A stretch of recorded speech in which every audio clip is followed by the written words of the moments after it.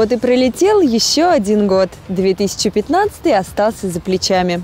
Вновь на площадях города нас ждут красавицы ели, замечательные ледовые городки и прекрасное новогоднее настроение. И пусть пока погода не радует нас, самое главное, чтобы праздник был в душе. Вы смотрите проект «Мой город» на городском телеканале ЮТВ. Оставайтесь с нами.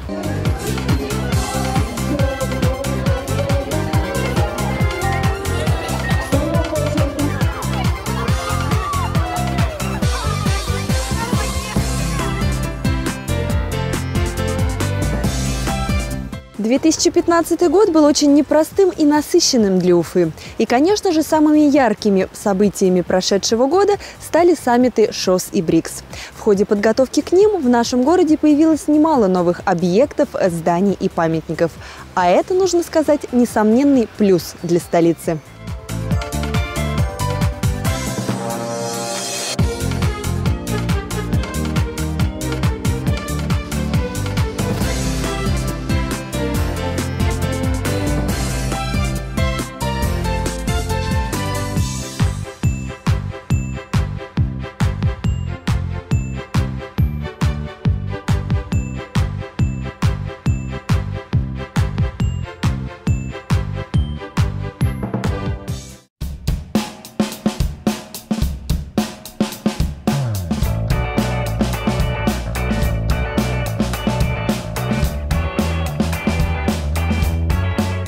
К Новому году открываются самые разнообразные выставки. Например, в Республиканском музее боевой славы открылась выставка, посвященная празднованию Нового года в военное время. В этом году исполнилось 70 лет со Дня Великой Победы, а значит, вещи той эпохи достойны отдельного внимания.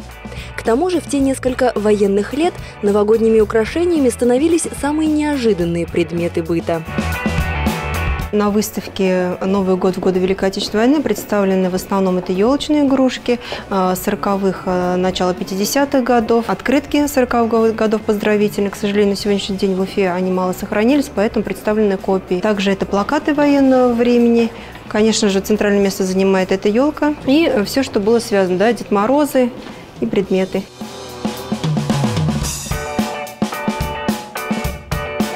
Я вот, допустим, принесла ряд игрушек, которые принадлежали моей прабабушке, и тоже они здесь представлены на этой выставке. И таким образом вот формировалась коллекция. Но на сегодняшний день очень мало предметов сохранилось с 40-х годов. Не только елочных игрушек, но это и фотографии 40-х годов, мебели интерьерной, то есть практически ничего нет. Здесь у нас воссоздано интерьер квартиры городской, непосредственно как люди встречали Новый год – да, и в том числе одежда того времени.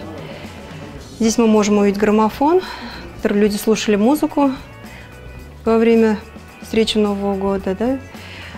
Часы мы поставили, чтобы было символично. И елочные игрушки. Наверное, самый интерес представляет это вот эти елочные игрушки. Елочные игрушки – это непосредственно вот изготовленные из картонной фольги в 40-х годах. И э, самый акцент делался во время войны – это вот игрушки в виде звездочки непосредственно. И плюс в виде самолетов, танков и так далее. Но большей части, конечно, люди изготавливали самостоятельно. И здесь вот представлены некоторые игрушки, они ручной работы, а некоторые заводской. То есть здесь это изготовленные из ваты и папье-маше.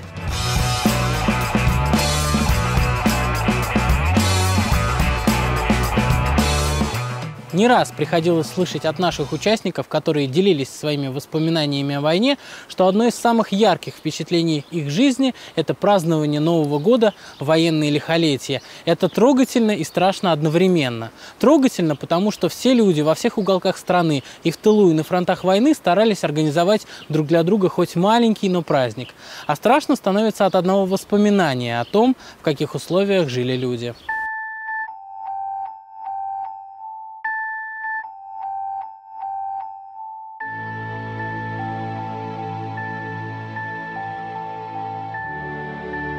70-летие празднования Победы Великой Отечественной войны.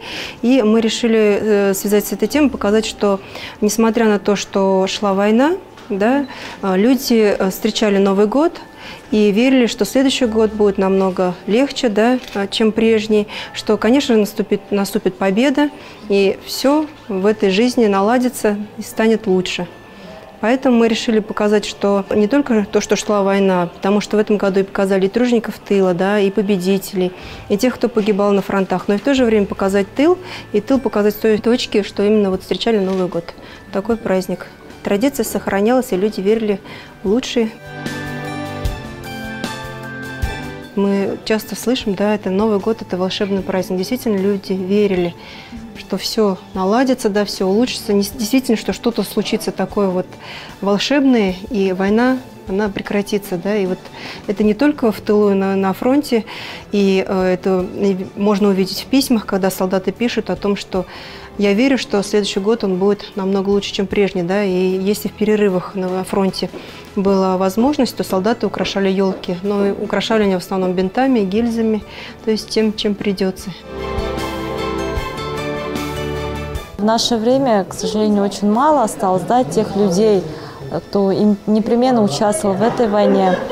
И хотя бы через музей, вот через вот эту историю мы могли бы знать конечно же, помнить. Вот это самая главная, наверное, цель. Мне интересна сама история, и до этого я знала, читала много и рассмотрела разные документальные фильмы по поводу.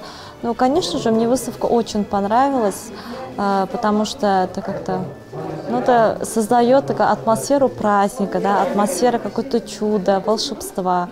И, естественно, вот эти плакаты, непременно они мне тоже близки, потому что еще вот ну, много лет назад, может быть, да, не так много, вот такие плакаты они еще были. Вот.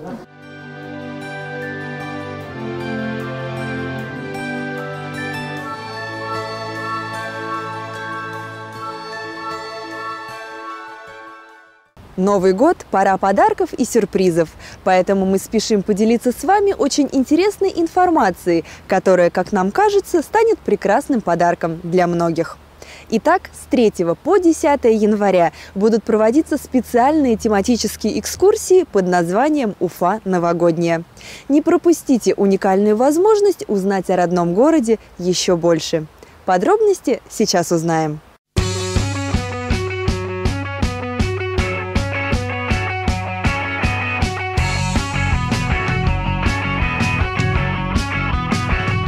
3 по 10 во время каникул а, все будут отдыхать и, конечно, смогут уделить внимание себе, своим семьям, детям, бабушкам, дедушкам.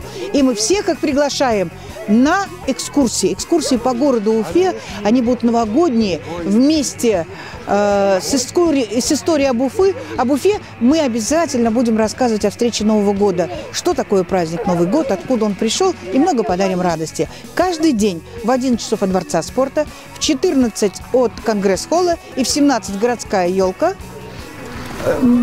города Уфы принимать будет гостей.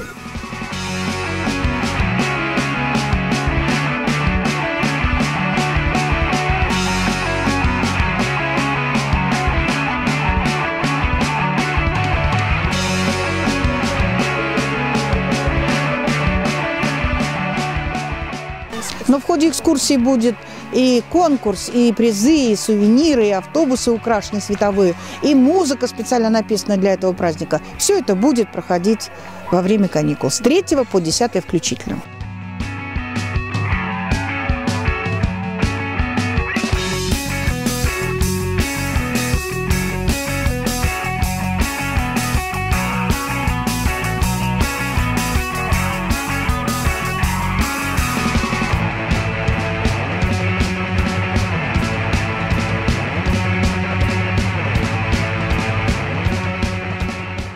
Еще одна выставка, открывшаяся в преддверии Нового года в Национальном музее, называется «Облик старой Уфы глазами архитектора и фотохудожника Фарида Гельмиярова».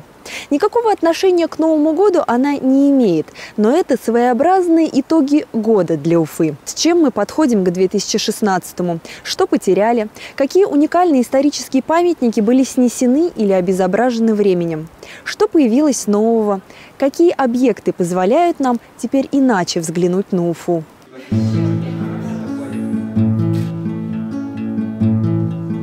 Уважаемые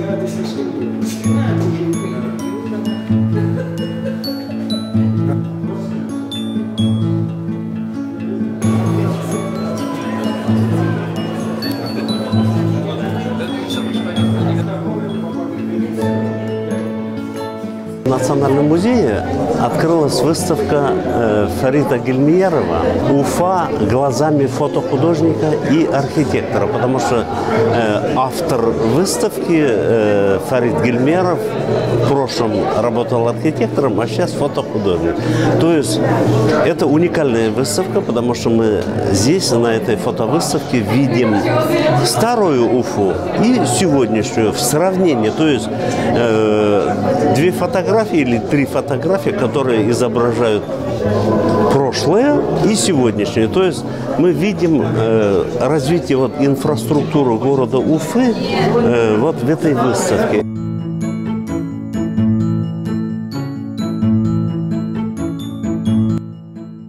Для меня эта выставка очень архиважное событие. Город, уходящая архитектура. Практически я, мне удалось, мне повезло, что я по своей инициативе, вот самое заметьте, только по своей инициативе я фотографировал. Не предполагал, что это будет такого масштаба, эта выставка. Сначала на пленке, потом сейчас на в цифровом варианте. Надо отметить, что я, будучи архитектором, знал цену того, что сносится.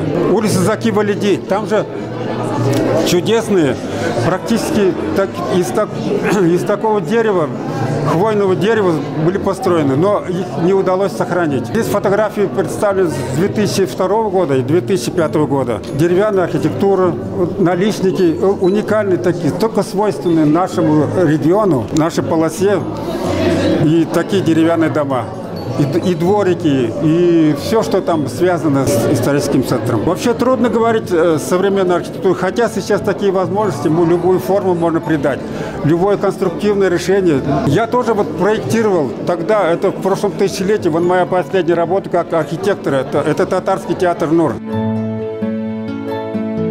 Выставка очень интересная, потому что здесь э, представлены уголки э, Уфы, и старый, и новый. И э, очень хорошо, что он зафиксировал э, исторические какие-то э, объекты, вот, которые что, что греха таить, могут исчезнуть когда-нибудь. Поэтому это будет, во-первых, память хорошая, а во-вторых, это просто очень красиво. Местами новая архитектура, она хорошо вписывается, она подчеркивает динамичность города. Вот. С другой стороны, э, уголки старой Уфы, они какие-то такие теплые, они располагают э, к тому, чтобы не спеша гулять, любоваться всем этим. Потому что когда попадаешь среди современной архитектуры, то тогда и чувствуется другой ритм немножко жизни, более современный, более динамичный. Вот. Ну, собственно, так, как живет современная Уфа. На некоторых Уфа очень одиноко. Кто не был в Уфе, может подумать, что это очень и очень старый город, и в нем никто не живет. Но э, наряду со старостью здесь есть и современность. Есть яркая жизнь людей, ну, вот как, например, на этой фотографии. Отдых людей, активные, красивые, живые фотографии. Конечно, видно, что очень любит город, с такой любовью относится к ее архитектуре, к, к жителям. Все, они, все его фотографии вот наполнены душой. И не просто вот стены он снимает, а вот душу стен, душу людей, как они выглядят, э, что они чувствуют. То есть вот э, это Божий дар. Конечно, впечатляет старинные здания. Понятно, что людям в таких зданиях жить и оставаться сложно, неинтересно, тяжело. Все хотят сейчас условий тех, которые современный житель, который живет. И, конечно, щемит сердце от того, что э, старый фас стирается, что пропадает вот эта вот старина, и в городе пропадает вот эта вот изюминка ее, которая, например, как есть в Казани. Вот там очень много старинных зданий сохранено. У нас, к сожалению, это уходит. Очень жалко. Но прогресс идет вперед, люди хотят жить лучше, ничего не поделаешь. Это интересная выставка, которая говорит о том, как развивается наш город и какие мы усилия принимаем, э, чтобы сохранить историческую достоверность э, нашего города. Это э, очень ценно для жителей нашего города, для э, ну, гостей нашего города, ну и, конечно, для руководителей города, потому что нужно же видеть перспективы роста нашего, нашей Уфы, красоту нашей Уфы и так далее. То есть я думаю, что приходя вот на эту фотовыставку, э, наши посетители увидят интересные вот, э, фотографии. Вот. И хотелось бы, чтобы э, новогодние праздники э, наши жители города, гости приходили бы на эту фотовыставку и увидели и удивились бы. Вот и все.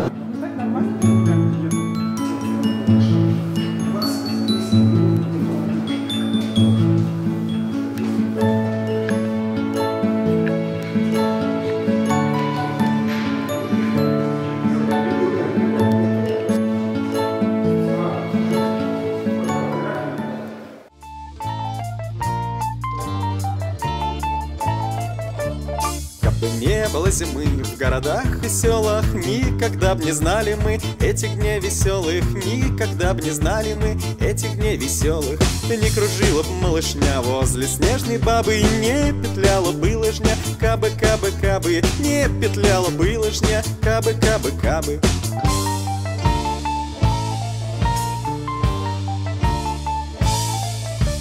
Кабы не было зимы в городах и селах Никогда б не знали мы этих дней веселых А никогда б не знали мы этих дней веселых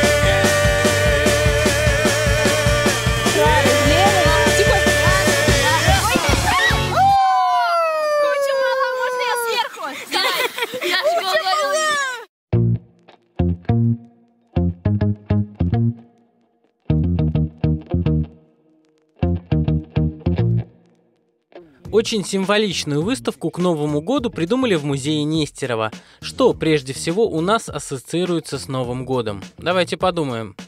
Конечно, бой курантов. Именно этим звуком, то есть стуку, трели часов старинных и современных, и самим часам уделили внимание в художественном музее в последней выставке года.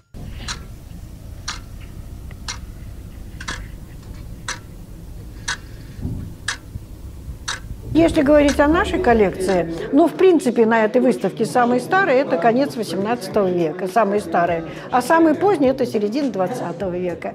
Вот. И из самых старых часов – это, прежде всего, конечно, вот эти английские часы английские часы. Это наши, эти, эти часы все наши, да.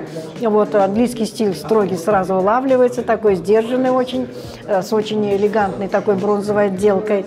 Вот.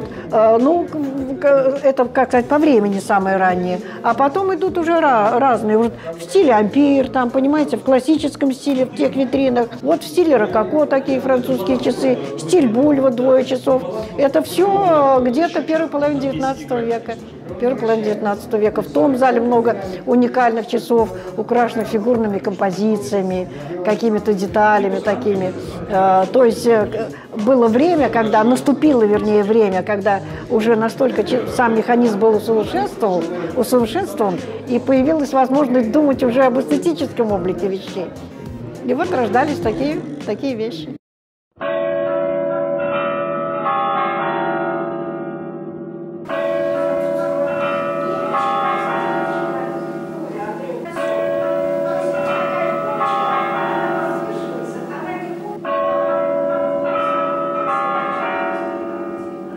Конечно, здесь не обошлось без вдохновителя. Часть выставленных тикающих экспонатов принадлежит Валерию Ивановичу Шатаеву. Он долгие годы занимается часовыми механизмами, их починкой, что уже само по себе труднейшая ювелирная работа. Валерий Иванович отремонтировал часы, находившиеся в музее Нестерова, и часовая палитра Уфы предстала перед нами во всем своем разнообразии. Очень стараюсь к Новому году, а мысль появилась еще в прошлом году, когда мы познакомились с этим коллекционером, вот, и, так сказать, вместе родили этот проект. Но восстановил все он нам. Только благодаря его усилиям сегодня все жило, все живет, звонит, ходит и бьет. Ну, месяца три он приходил к нам после работы в свое личное время, вечером, выходные дни, месяца три. Восстанавливал, находил утраченные детали. Это не так просто все. Восстанавливал утраченное. ювелирная работа, кроме всего прочего. Ну и, конечно, знание, знание дела высочайшее.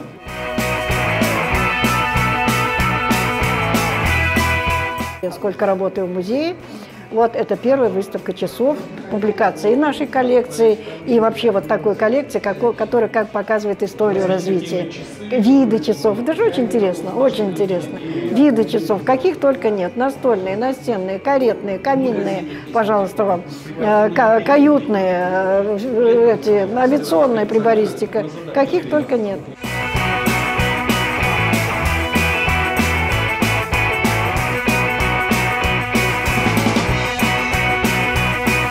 До этого я всю жизнь что-то налаживал, работал в этой области, я был электроником, мы налаживали электронные все машины, и там была очень точная механика. А потом как-то получилось так, что занялся антиквариатом, и у коллекционера купил первые часы, они стояли сломанные. Вот человек спрашивал, под колпаком как раз были годовой завод у них.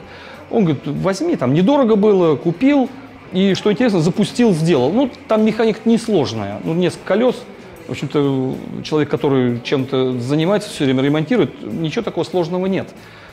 Но, как оказалось, там достаточно все сложно. Сейчас они не ходят, я их на выставку не смог принести. Потому что перед выставкой, естественно, они там забарахлили и так далее. Сейчас в интернете можно для них купить запчасть, там очень тонкая такая проволочка одна есть, я ее сам изготавливал.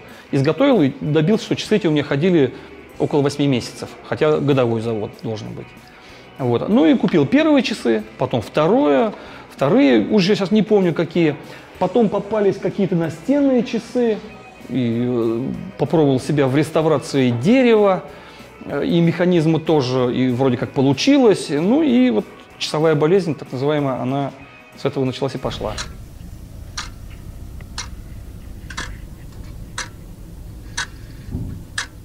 Вот часы почти все здесь. Э, значит, одни часы не повесили. Там у меня лежат, э, и в мастерской, наверное, двое-трое экземпляров, нет, даже четверо-пятеро, наверное, которые просто ждут ремонта. На одни нужно придумать самодельную какую-то деревяшечку, на другие просто нужно, чтобы руки дошли, помыть, отмыть, сделать. Э, вот одни часы механизм сделал, корпус не готов, ну нет смысла сюда вести его. Вот, то есть это все продолжается, это не то, что чего-то добился выставки и все. Это навсегда, это всегда хочется. И еще есть такой интересный эффект. Вроде бы как э, было такое вожделение, что хотел купить вот эти часы. Но думаю, куплю и все. Вот у меня уже я, все будет, мне ничего больше не нужно. Такого не бывает. Приносишь, поиграл в них день, два, три, запустил, и все, часы уже встают на свое место, и хочется уже вон те купить, которые там у него вторые были, и в интернете, и так у людей вот это и есть смысл часовой болезни, что надо, надо, надо, хочу, хочу, хочу. Наручных, наверное, штук 18-19. Среди них есть даже одни, мне просто подарили электрические часы, ну, на батарейке, современные часы.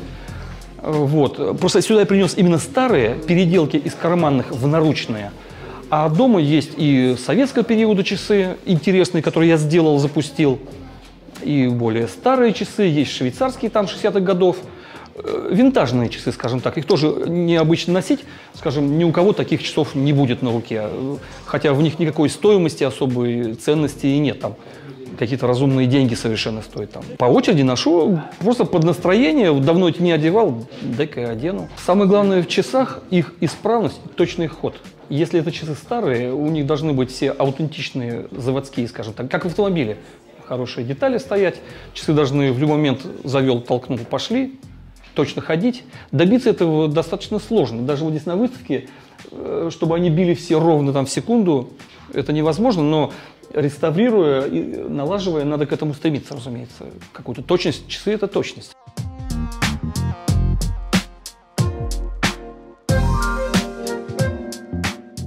Вот это тиканье, я говорю, в обычной квартире живем, спим здесь, я часы тикания слушать не могу, потому что не уснешь просто с ними. Вот в чем дело. Днем, да, можно. И хорошо, когда часы бьют где-нибудь на кухне, то есть лежишь, слышишь, что через 15 минут ударит, допустим, там полдевятого, полдесятого, пора вставать.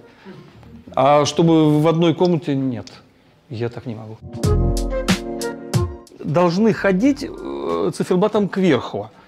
Значит, особенность механизма. Хронометровый спуск, Вот, они идут через полсекунды, полсекундная стрелка, на циферблате, значит, часовая, минутные стрелки и стрелочка запаса хода. Сейчас они заведены до конца, и, значит, через 56 часов э, стрелочка, как бензин у автомобиля, примерно движется в ту сторону.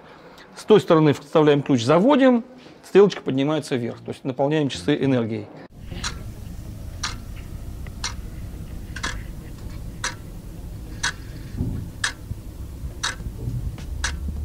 Да здесь ничего такого особенного нету.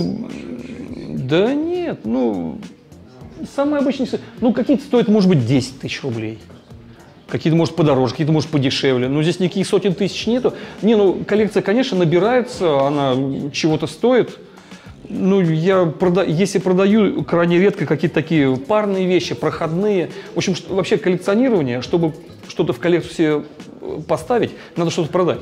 Продаем что-то такое, может быть, более простое, покупаем, какие-то сливки пытаемся купить. Это закон любой коллекции. То есть э, отдать что-то не очень нужное. Чтобы купить что-то нужное, надо продать что-то ненужное.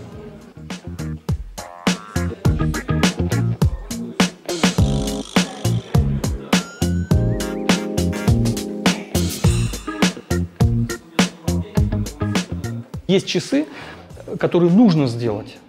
То есть э, вот хапнуть часы, принести в мастерскую или домой – это одно дело, но довести их до ума, и это совершенно длинная история. И бывает так, что, э, как я уже говорил, что часы невозможно не купить, их нужно брать, конечно, а сделать уже потом. Я боюсь, что жизни не хватит все часы, которые я начал, их восстановить. И тем более, когда восстанавливаешь часы, каким-то вот уже этим требуется ремонт. То есть круг замыкается и...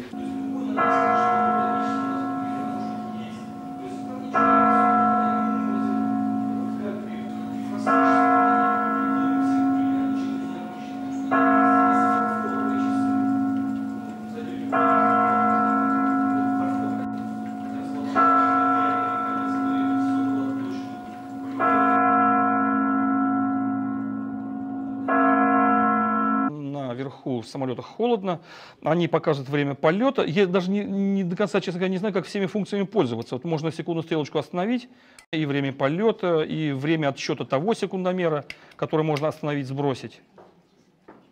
Ну, часы очень качественные, хорошие. Они внутри сделаны также красиво, но только без полировок, без таких огранок. Ну, очень, то есть не штамповка, а серьезная, хорошая вещь. Вот. Хотя в коллекции, для коллекционера здесь ничего такого особенного нет, но если показывать разнообразие часов, какие бывают часы, я думаю, что их показать стоит.